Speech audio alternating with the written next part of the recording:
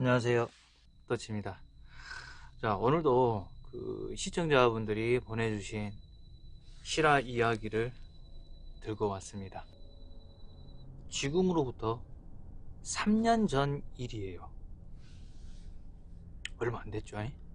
사연자는 아버지의 부도로 현재 살고 있던 집에서 쫓겨나게 됐어요.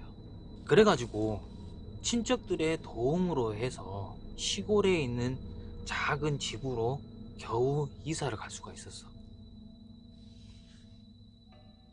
그런데 그 시골에 있는 그 집은 사연자, 그리고 사연자 남동생, 아버지, 어머니, 이렇게 네 식구가 살기에는 너무도 작은 집이었거든. 사연자는 그때 당시 남동생하고 같은 방을 써야 하는 현실이었거든. 방이 두 개밖에 없었단 소리지. 그런데 사연자는 이사 간 그날부터 해가지고 당연히 불만이 많지. 본인은 여자고 남동생이고 더군다나 사춘기고 한데 남동생이랑 또 같은 방에서 써야 하고 그러니까 너무 짜증난 거야. 그래가지고 아빠, 엄마, 나 얘랑 같이 한 방못 써서 있으면 너무나 싸우고 그러니까 나 진짜 이 방에서 못 살겠다고. 그냥 따로 나가서 살겠다고 하니까 부모님들은 하, 제발 좀 참아라. 응? 참어. 미안하다. 미안해. 부모님 입장에서는 어쩌겠어. 그런 집 밖에 갈 수밖에 없던 그때 당시의 형편이었단 말이에요. 그렇게 사연자는 시골 집으로 이사를 갔고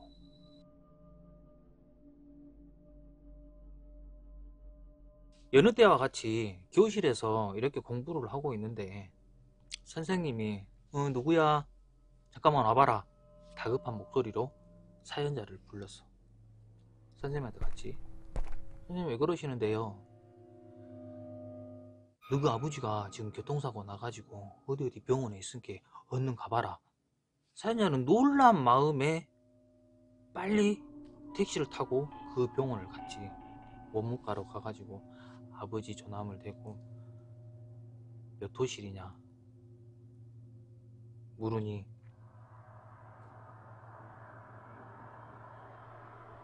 그렇게 말을 듣고 나서 이거는 현실이 아닐 거야.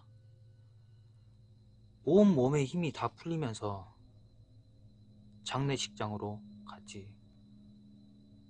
저 멀리서 어머니하고 남동생이 울고 있는 거를 보고 나니까.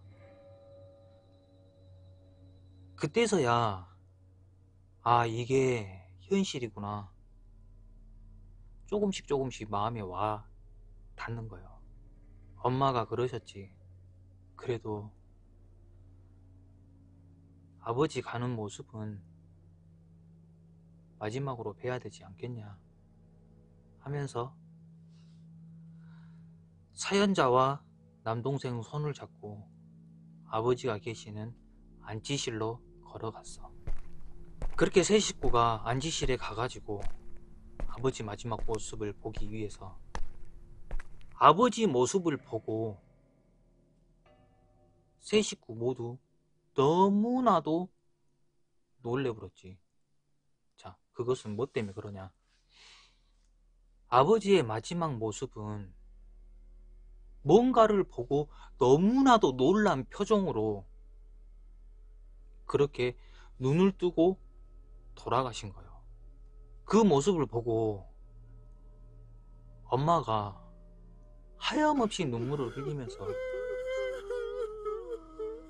우리들 때문에 아버지가 눈을 못 감고 돌아가신 것 같다 하면서 그렇게 통곡을 하시면서 눈을 이렇게 감기려고 하는데 눈이 안 감기는 거예요.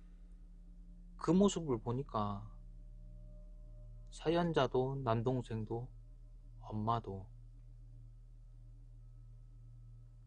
그 세 식구 모두 그 안치실에서 대성 통곡을 하는 거예요.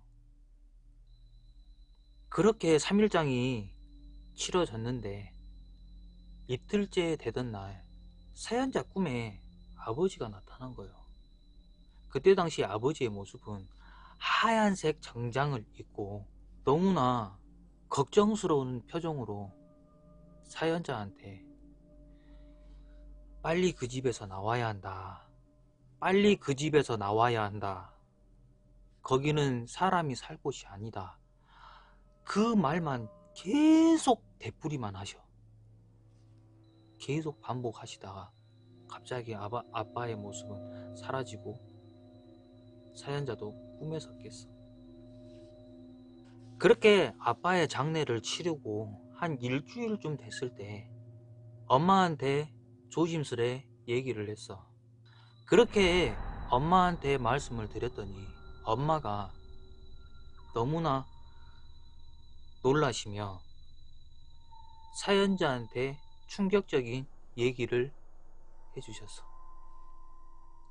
그때 당시 사연자가 살고 있던 그 집은 할머니 혼자서 살고 계시다가 그 집에서 자살을 했던 그런 집이야. 그런데 그게 전부가 아니었어.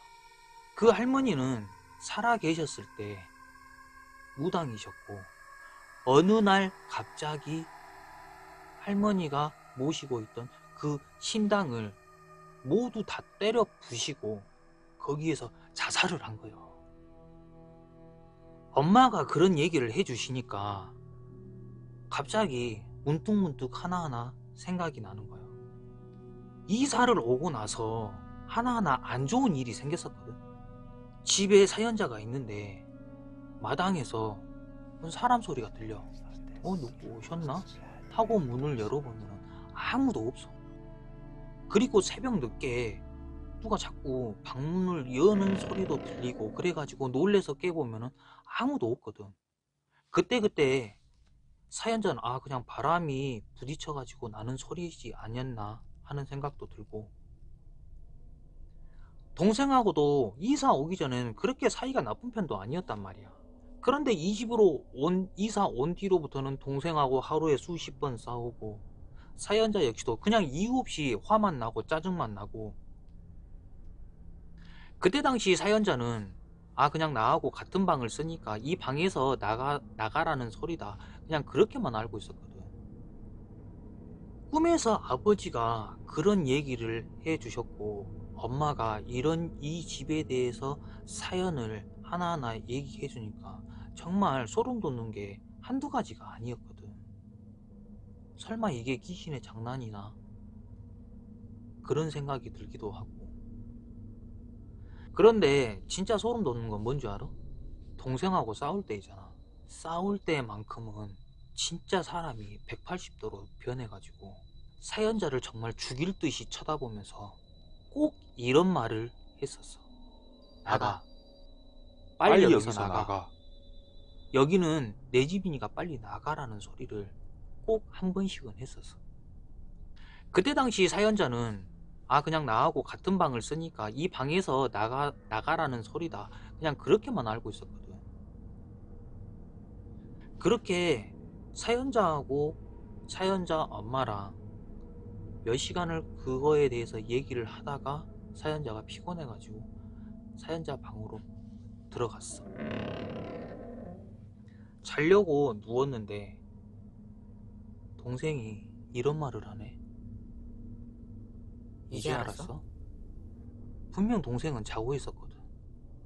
사연자는 너무나 놀래가지고 소리를 지르고 악을 쓰니까 사연자 어머니가 달려온 거야.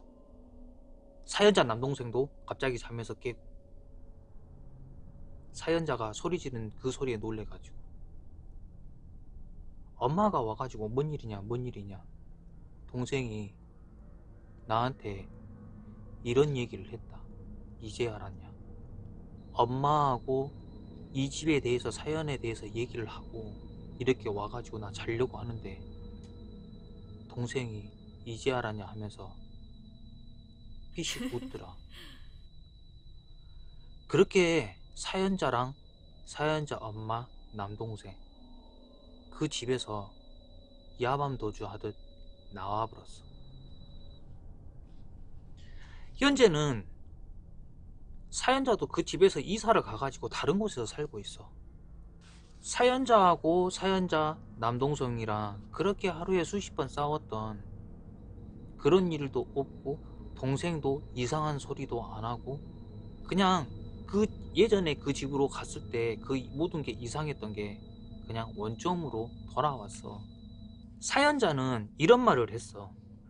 지금 와서 생각해보면 교통사고로 돌아가신 아빠는 그 도로의 사정도 너무도 잘 아시는 아버지인데 거기에서 교통사고가 나고 그리고 거기서 돌아가시기까지 했단 말이야. 그리고 아버지의 마지막 모습은 뭔가를 보고 놀란 표정이었어. 아마도 그게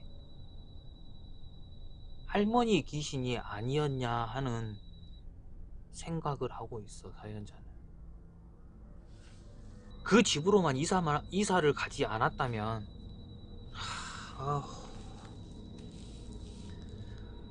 그 집으로 이사만 가지를 않았다면,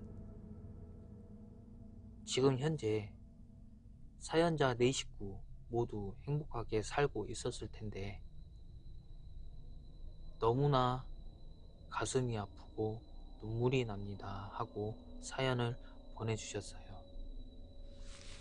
자, 사연은 여기까지입니다. 자, 끝까지 시청해주셔서 감사합니다.